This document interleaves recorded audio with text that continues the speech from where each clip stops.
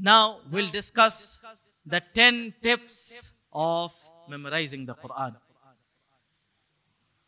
And this, these 10 tips, inshallah, if you follow, you can start your journey or you can start your dream of memorizing the Quran. Bi'iznillahi azza wa The first tip, whenever you start a very good thing, whatever it is, or whenever you start the memorizing of the Quran, the first step is you have to clear your intention. You have to make your intention pure. That this act which I am, uh, which I am doing, is it for Allah Azza wa Jal, or is it to gain any worldly benefit? You know the muhaddithin, mashallah, when they start off with their books, like Imam Bukhari and Imam Muslim, they start off with innamal a'malu bin niyat. You have to clear intention because each and every deed you do, it is according to your intention. You would be rewarded according, based upon your intention. So the first step is you have to make your intention pure. You have to make your intention clear. The second is you have you have to have the love for the Quran.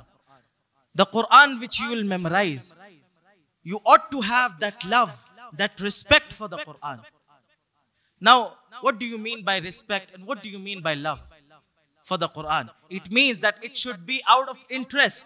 The thing which you are undertaking, the thing which you are going to do, it should be out of interest. It shouldn't be out of pressure. You know, parents, they are beating their children, whacking their children, and hoping that they would be a hafiz. No, they would be a hafiz, no problem. But the outcome is not that great. If you want to be like a proper hafiz of the Quran, you have to have that love for the Quran. And if you have that love for the Quran, you'll automatically do qadr of the Quran. You will respect the Quran. So this is the second tip, is that you have to love the Quran. The third tip, which I would like to discuss, is that you have to keep away from sins. Very important. My dear brothers, you have to abstain from sins as much as possible. You have to keep away from sins to have a sharp memory. Because this requires a lot of strive, hard work. And when you strive and struggle and you are not able to get that, then it is a problem. So how to improve your memory? You can say by minimizing on your sin. By keeping away from sin as much as possible. You know Imam Shafi'i rahimahullah, in his poet, he complains to his ustaz Waqi' and it is mentioned in poetic form. He says, شَكَوْتُ إِلَى وَكِيعِي سُوءَ حِفْظِي I complained to my ustaz Waqi' about my, he was struggling in memorizing. So he says that I complained to my ustaz Waqi' about my weak memory. فَأَوْصَانِي إِلَى تَرْكِ الْمَعَاصِي So he advised me to abstain, to keep away from sins. وَأَخْبَرَنِي بِأَنَّ الْعِلْمَ نُورٌ And he informed me that this knowledge, this ilm is a light, is a nur. وَنُورُ اللَّهِ لَا يُعْطَى لِعَاصِي And the light of Allah and the nur and the knowledge of Allah is never given to the asi, is never given to the sinners is the never given to the one who sins. So we should make sure that we have to abstain, we have to keep away from sins as much as possible. The next step you can say, you have to make a portion like you have to daily recite the Quran. You have to make a time where you daily recite and you have to daily revise and daily memorize the Quran. It should be a daily process. It shouldn't be like one day you do and after three days you do. No, it should be a daily process. So make sure whatever you do, even if it is uh, one verse a day, but it should be consistent. Okay? So it shouldn't be in qita' in between. Like you do one day, like even if you do two pages a day, then you go for the next week. No. Every day you should have a minimal amount of recitation or minimal amount of memorization which is uh, done every day. The next step is you have to choose a place, proper place to memorize. There shouldn't be distraction in that. So it can be in masjid, you make a proper place for yourself, or it can be in your room, wherever it is, you should make sure that there is no distraction around. Whenever you are reciting the Quran, there should be complete focus in that, and you are completely, you're giving your complete 100% into that. Next tip you can say, is you have to carry your mushaf.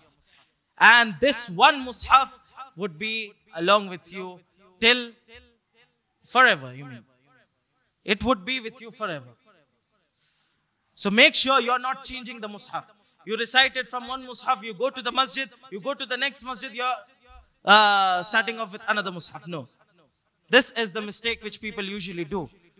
They change mushaf in uh, when they start with the learning. No, you have to carry your own mushaf, and that, that mushaf would be in your complete journey of hifz. Because you know the ustaz which you have, they'll mark the mistakes, and you can follow up that. You can uh, have a look at your mistakes. Then the next step is the recitation which you do or the memorization which you do, it should be under someone's supervision. There should be a, a proper ustaz who is correcting your mistake, who is showing you how to do and how to go about. It shouldn't be done like, okay, I know how to recite. I know how, uh, the rules of tajweed. I know the rules of makharij. I know how to memorize. So I'll go at like by myself. No. It should be done, it should be done under someone's supervision. There should be a ustaz who is guiding you. The next is, the next step is you have to find a Quran buddy. Huh? Somebody who will keep you a task, like a Quran colleague, for example. He can be like a portion ahead of you, he can be behind you, whatever it is, but he follows you, you encourages you. So you make sure that you have a person like a backup who is encouraging you. If there is something, uh, if for example the ustaz is not present, you can give your portion to him. So this is like uh, like the Prophet sallallahu alaihi wasallam used to give his portion to whom? Jibril alayhi salam. So his Quran buddy was Jibril alayhi salam. So you have to have a friend or a Quran buddy. You can say like that. The next step you can say is the dua. You have to make constant du'as that Allah subhanahu wa ta'ala May Allah subhanahu wa ta'ala make this journey easy for you. Constant du'as in your salawat. You ask Allah subhanahu wa ta'ala to grant you that blessing because this is a great ni'mah, my dear brothers. My dear brothers and sisters, this is a great ni'mah. Imagine the Prophet, uh, Allah subhanahu wa ta'ala when he says, Inna nahnu nazzalna wa inna lahu lahafidhun. Verily we have sent down the Quran and we will guard this Quran from corruption. We will guard. So Allah subhanahu wa ta'ala is taking the responsibility of guarding this Quran, of protecting this, this Quran from corruption. So imagine Allah subhanahu wa ta'ala is choosing you for this. Allahu Akbar. So this again itself a significance. So you should ask Allah subhanahu wa ta'ala to grant you tawfiq to memorize the Quran. The next step you can say is, is you have to have a particular time when you memorize.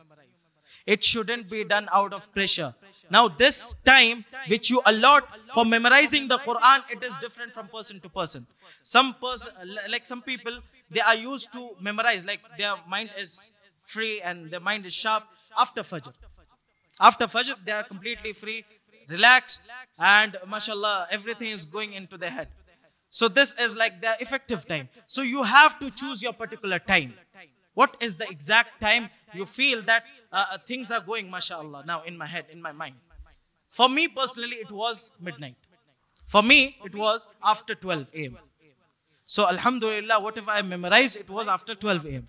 So it differs, as I said, from person to person. It shouldn't be done out of, like whenever you are tired, out of pressure, you are doing it, nothing will go. Even though you follow this process, you follow this technique, nothing will go in your head. So make sure you allot and you fix a particular time. And that time would be your time. You have to decide that. You have to identify that particular time and you have to go about with the process. Inshallah. Jazakumullah.